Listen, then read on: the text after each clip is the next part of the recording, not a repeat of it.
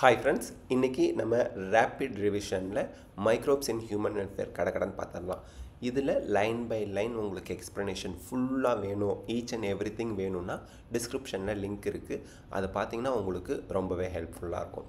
So இப்போ பார்த்தோம் அப்படின்னா இந்த ஸ்லைட் பாருங்கள் மைக்ரோப்ஸ் அண்ட் தேர் ப்ராடக்ட்ஸ் அதில் இம்பார்ட்டண்ட்டாக எக்ஸாம் பாயிண்ட் ஆஃப் வியூவில் லாக்டிக் ஆசிட் பாக்டீரியா வந்து formation of curd from milk மில்க்லேருந்து curd form பண்ணுறதுக்கு நமக்கு யூஸ் ஆகிறது லாக்டிக் ஆசிட் பாக்டீரியா.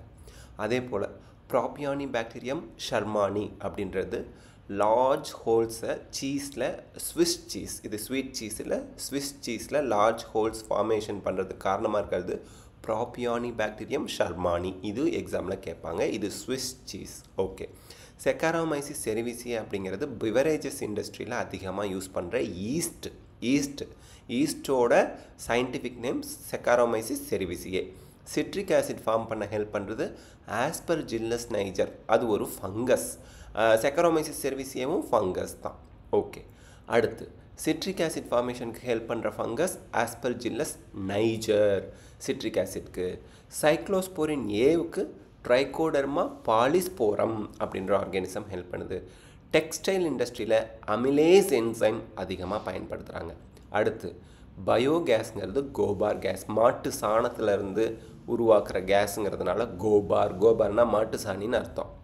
காம்போசிஷன் இதில் என்ன இருக்குது பயோகேஸில்? மீத்தேன் அதை மார்ஷ் கேஸ்னு சொல்லுவாங்க.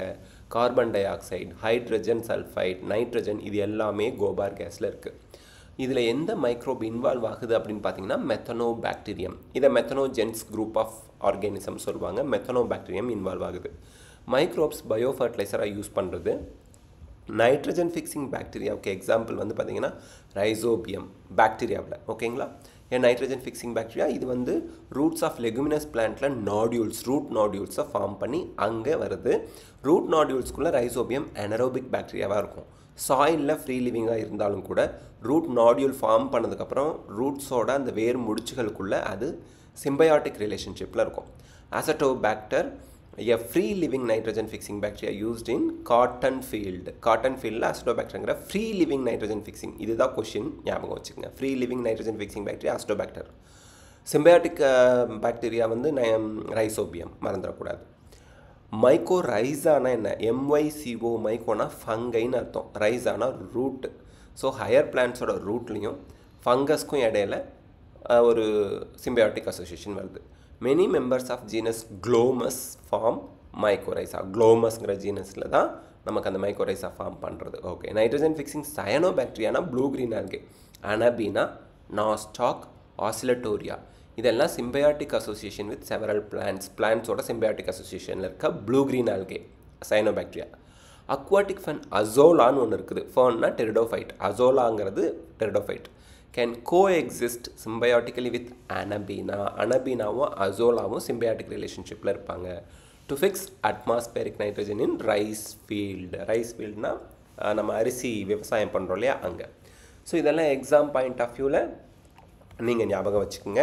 Next biotechnology principles and processes அந்த சாப்டர் வந்து அடுத்த வீடியோவில் பார்க்கலாம்.